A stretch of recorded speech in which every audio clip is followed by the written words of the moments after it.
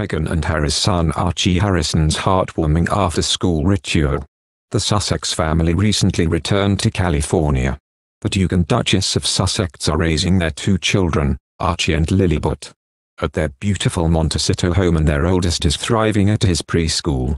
Prince Harry and Meghan's adorable three-year-old boy is loving school and all the excitement it has to offer. And his mom has ensured their ride back home is also an important and heartwarming learning curve. In a recent eye-opening interview with The Cut for the New York Times, the mom of two took journalist Allison P. Davis, with her to collect Archie from his school and she documented their ritual in the article which was published. During the ride, she wrote, if he, Archie, forgets to say please or thank you, Meghan reminds him of the manners that make a man. She then added, at a stoplight, she, Meghan, reaches into the trunk and produces a brand new black backpack and hands it to her security detail to give to an unhoused man on the corner. They are teaching Archie that some people live in big houses, some in small, and that some are in between homes. They made kits to pass out with water and peanut butter crackers and granola bars. I ate one Archie contributes. The sweet routine will, no doubt, continue now that the family are back home in California. After attending the funeral of Prince Harry's grandmother Queen Elizabeth II, the couple were away for 17 days in total, having visited Manchester and Germany for charity events before they heard of the monarch's sad passing. It's believed Archie and Lilibet stayed home in the US during this time. So we can only imagine how the big family reunion took place on their return. Meghan has revealed that Archie is now ready to be full-time at his school. While Lilibet is now 15 months old and like me tottering around the enormous family house.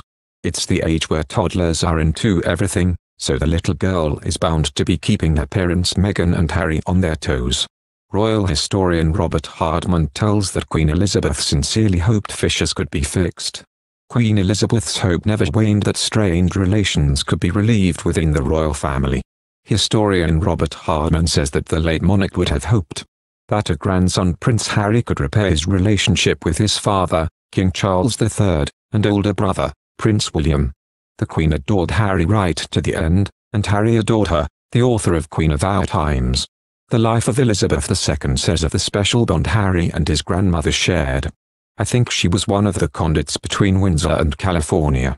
And it would have been one of her dearest wishes that they patch things up. Prince Harry and his wife, Meghan Markle, have become distant from other family members in recent years. The Duke and Duchess of Sussex stepped back from their senior royal roles in early 2020, and have resided in Meghan's home state of California since. Prince Harry and Meghan had been in Europe for a series of charity visits when Queen Elizabeth peacefully died. At age 96 at Balmoral Castle in Scotland, as after her daughters publicly announced they were concerned for her health. The California couple remained in the UK for the Queen's funerary events for the following two weeks and travelled back to US after the funeral. Now, those close to the King and Queen Camilla hope, for the sake of the new reign if not salvaging family ties, that Prince William and Prince Harry will reconcile.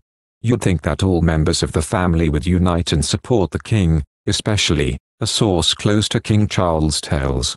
Perhaps some wounds can be healed in the process.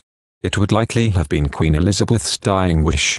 She knew that conflicts were a part of life, and she didn't hold grudges. Most of all, she wanted to see her family happy, the insider adds.